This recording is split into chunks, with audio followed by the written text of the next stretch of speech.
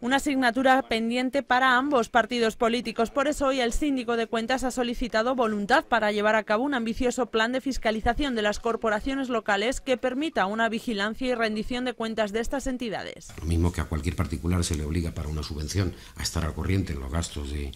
eh, sus obligaciones con la seguridad social y fiscales, no estaría de más que, insisto, como eh, ya ha hecho Cataluña o, Galicia, y creo que alguna comunidad autónoma, permítanme el lapsus de memoria,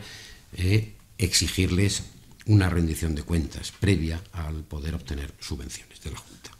Precisamente y como novedad de cara a este año, el síndico, y gracias a una modificación legislativa, remitirá a las Cortes Regionales un informe memoria que va a contener el resumen de las actuaciones en materia de revisión y rendición de cuentas públicas. Introduciendo este nuevo informe memoria, donde se deja a criterio de la sindicatura un eh,